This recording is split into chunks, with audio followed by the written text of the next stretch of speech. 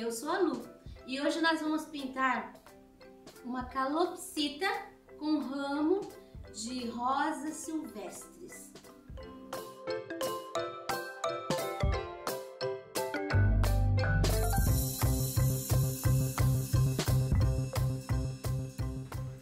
Esse é o nosso risco. Eu, eu fotografei a calopsita do meu irmão e eu fiz um arranjo de flores em voltas para a gente compor um desenho legal. Nós vamos começar pelas folhinhas. Folha, vamos fazer esta aqui. Eu selecionei um cinza e um pistache. O pistache aqui mais para ponta. O cinza aqui mais no pé. E eu vou concluir aqui com verde pinheiro. Ó, fiz a base de uma. E agora eu vou fazer com o branco aquela luz. Eu vou puxar essa luz pra cá, essa luz do branco. Eu vou colocar um pouquinho da luz aqui em cima e vou puxar pra dentro.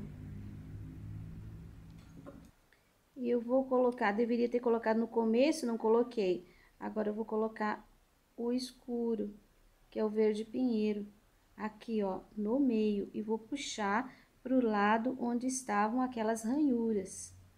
E vou pôr um pouquinho dele aqui nesse lado.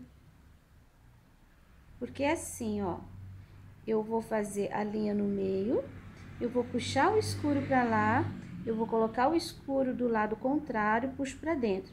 Depois eu venho com o branco e faço a mesma coisa vai ficar invertido. Cada metade tem uma sombra e uma luz. Uma sombra e uma luz. Essa daqui, olha, vou colocar o verde pistache na ponta. Hoje, aqui em Curitiba, o dia está muito nublado, tá muito escuro. Então, a gente resolveu colocar a mesa de pintura num outro espaço. Talvez vocês sintam a diferença aqui na, na luz. Mas estamos tentando, estamos nos adaptando. Ó, coloquei o pistache, o cinza e agora o verde. Se você não tem o cinza, você pode fazer um pouquinho do branco, um pouquinho do preto. Agora eu vou puxar, ó. Aqui tá o risco do meio, né? Puxo pra cá, porque é o lugar onde tem no seu risco aqueles dois risquinhos. Aí eu posso colocar um pouquinho do verde pinheiro do lado contrário e puxo pra dentro pouquinho menos. E depois eu venho com o branco fazendo a mesma coisa, só que aqui, ó.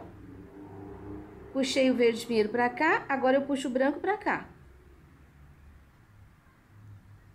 Puxei o verde pinheiro aqui, puxei o verde pinheiro ali. Agora eu vou puxar o branco aqui. Você vai ver que dos dois lados vai ter verde e branco. Aqui, olha, essa folha tá por cima daquela. Então, eu vou dar uma pinceladinha de branco aqui para separar. Olha só como que ficou. As outras folhinhas todas vão seguir este modelo. E para fazer esse tronco, eu vou usar o púrpura e o verde. Posso misturar direto ali, mas eu vou pôr aqui no pratinho para você ver. Se você quiser, pode usar o sépia. Olha, o verde com o púrpura vai fazer um tom de marrom. E eu vou preencher o meu galinho aqui, o meu tronco, com essa cor. Se você coloca mais púrpura, mais vermelho, ele vai ficar assim, quase um vinho.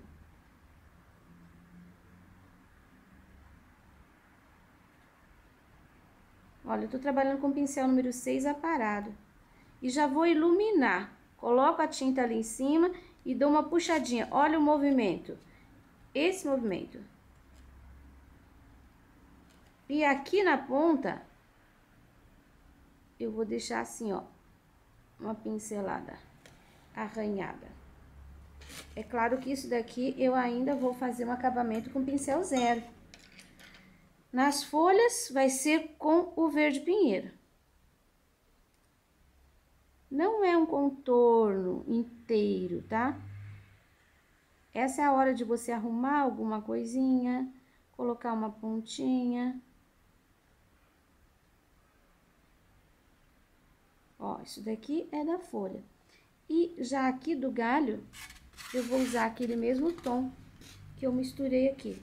Se você quer, você pode usar o teu, o teu sépia, tá? Vai ficar bonito. Ou marrom. Isso daqui é uma sugestão de cores. Você vai usar no teu trabalho aquilo que você tem disponível. Sendo similar, o efeito vai ficar bonito também. Aí. Eu vou terminar as minhas folhas todas, daí nós voltamos fazer as flores. Nessas folhinhas menores, eu usei o verde pistache e o cinza de base. Olha, o risquinho tá pra lá, então eu vou pôr um pouquinho do cinza, assim, ó. Aí eu vou usar a luz de branco do lado contrário, eu puxo e depois daquele lado eu puxo de novo. Olha, elas vão ficar bem mais clarinhas. Aqui, você viu que foi puxado pra cá, por quê? Porque a gente precisa de uma luz aqui, ó.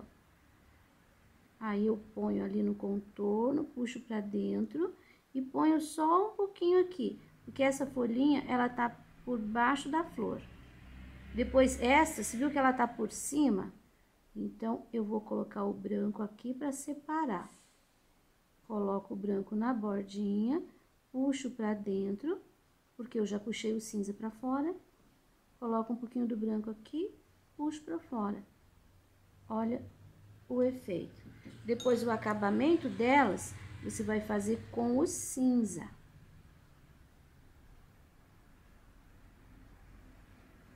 Ó, só aquele... É um semi-contorno, tá? Não é um contorno pesado inteiro. E aqui tem um detalhezinho ainda que eu quero mostrar pra você que eu vou fazer. Eu vou colocar no centro. Olha, a tonalidade ficou diferente. Eu vou colocar um risquinho de branco aqui, ó.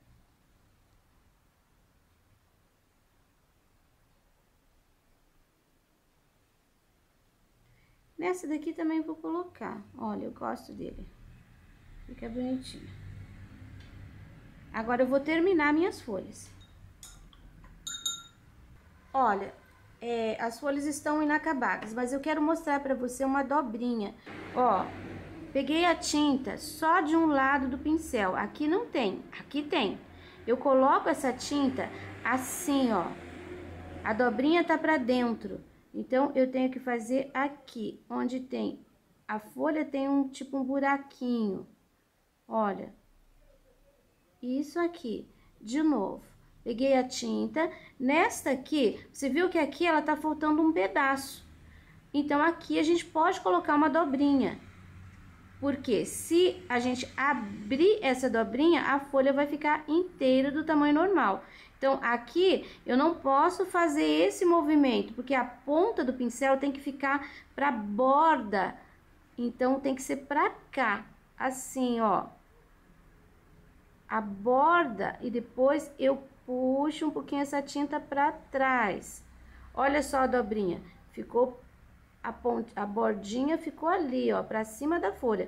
Aqui é costa, ali é frente. Mais uma. Quer ver? Aqui, ó, nesta, você tá vendo que aqui ficou inteirinho, aqui veio, fez um rumbo, fez um buraco. Nesse buraco, eu posso pôr uma dobrinha também. E eu começo aqui, eu cresço e eu termino aqui na pontinha, ó, juntinho. Tá vendo? Então, onde tem espaço gordo assim, eu não devo botar dobrinha. Eu tenho que pôr sempre onde tem esses buraquinhos da folha, onde a folha parece estar tortinha. Tá, vou colocar mais uma dobrinha ali em cima e vou terminar. Agora, eu terminei as folhas, nós vamos fazer a flor. Essa flor aqui, eu vou começar com amarelo ouro aqui, ó. Essa rodinha que eu coloquei alguns pontinhos. Depois disso, eu vou colocar branco. Nem lavei o pincel, ela já vai ficar com um tom um pouquinho diferente. Eu vou preencher praticamente com branco a flor. E quando chegar aqui, eu vou fazer assim, ó, vou esfregar um pouquinho o pincel, só para não ficar aquela divisão muito nítida. Ó, vou fazer isso aqui. Vou terminar de encher com o branco. Terminei de encher. Você viu que o risco, ele tá aparecendo, olha, tá aqui, aqui, aqui, aqui e aqui também. Depois tem os pontinhos ali que a gente não precisa agora. Nós vamos trabalhar a luz e a sombra. A luz é a nossa base, que a gente já colocou ali o branco. Então, nós vamos trabalhar com a sombra. A luz sempre vai estar por cima, a sombra por baixo.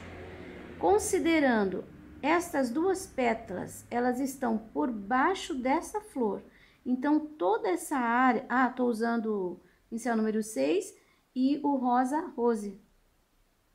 Toda essa área aqui, ó, vai ficar um pouquinho mais escura. Vou colocando de leve, eu quero deixar assim meio manchadinho, eu não quero preencher muito. Olha, nem alisar muito. Então, já dei uma escurecida toda a área que a flor tá por baixo da outra, por trás da outra. Agora a gente vai ver uma pétala com relação à outra. Aqui, entre essas duas pétalas, perceba que essa pétala aqui, ela tem a linha inteira. Esta, ela veio e parou aqui. Isso significa que esta ficou por baixo.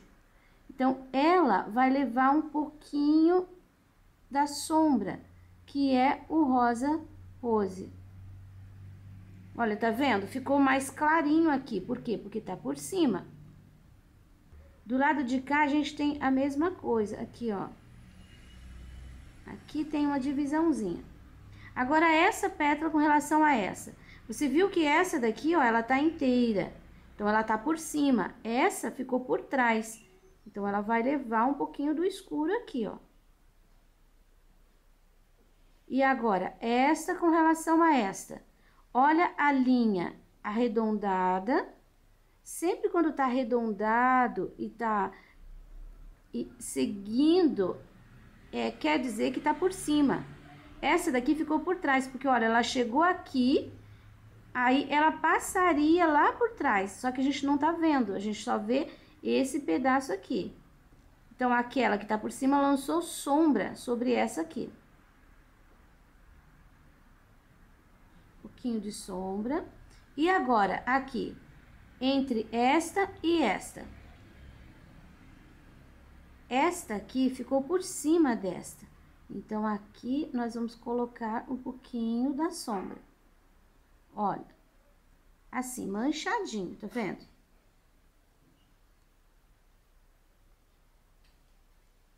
E agora eu vou fazer, dar um toquezinho com o púrpura bem pouco, mas muito pouca tinta. Eu vou colocar ali, ó, no contorno.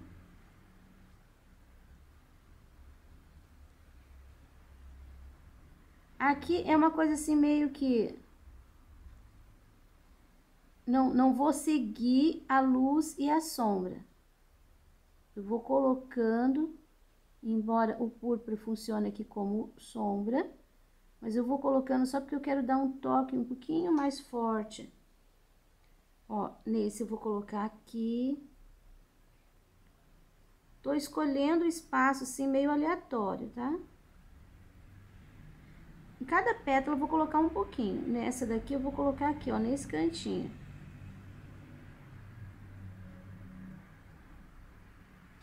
Aqui eu vou acentuar um pouquinho a sombra. Que ficou por trás, lembra?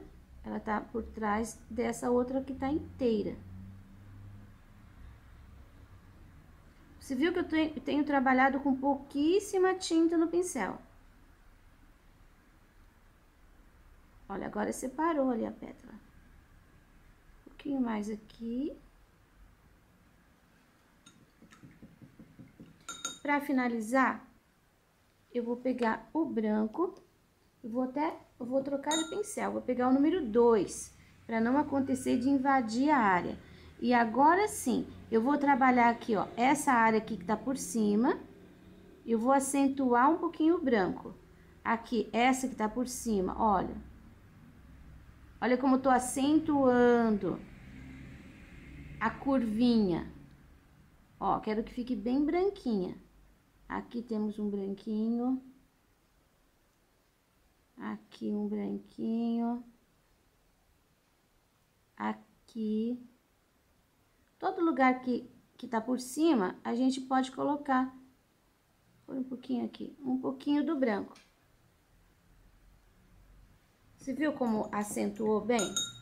E para concluir, o miolinho, que é esse, esse, essa rodinha que tem aqui no meio, eu vou fazer assim, ó, com o pincel número 2 também, em cima do risco. Eu vou fazer uma batidinha Batidinha mesmo com o pincel, assim, ó, pra ficar crespo. Redondinho. E agora, com o pincel zero, eu vou finalizar aqui dentro, aqui, aqui dentro não, aqui, ó, essa área aqui, com muitos pontinhos, seguindo o lugar que estavam aqueles pontinhos. Olha, muitos pontinhos. Não é para deixar uma carreira só. Com esse verdinho ainda, eu vou fazer risquinhos assim para fora. Aqui, ó. Esse daqui pode fazer que nem uma estrelinha mesmo. São vários risquinhos.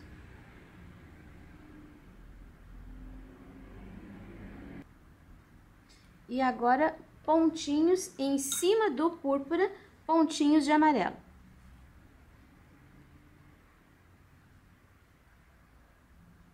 A cor vai mudar, vai ficar meio caramelo. Não é para acertar o pontinho de púrpura, tá? E aqui dentro eu vou colocar uma meia lua com branco. Agora eu vou fazer essa outra seguindo a mesma ordem. Já pintei as flores. Agora eu quero mostrar para você aqui, ó, com o pincel zero e o branco, um detalhezinho. Sempre que você tiver uma curvinha assim, você pode dar uma pinceladinha. Eu já fiz aqui nessa. Olha como fica legal. É, assim, ó, tem uma curvinha, dou uma pincelada. Não precisa desenhar muito, é só mesmo uma pincelada. Nem precisa ajeitar as bordinhas. Se sair um pouquinho para fora, não faz mal. Isso vai parecer dobrinhas e vai fazer ficar bem gracioso o seu trabalho. Nós finalizamos essa aula de hoje. Na próxima aula, eu vou pintar a calopsita e o fundo. Eu gostei muito desse ramo, então eu vou colocar no projeto, eu vou colocar ele separado para você poder pintar num pano de prato, numa toalha, no que você quiser, sem a calopsita. E também com a calopsita. Terminamos essa primeira parte, espero que vocês tenham gostado. E esse risco você já encontra disponível na minha página www.sonalupinturas.com.br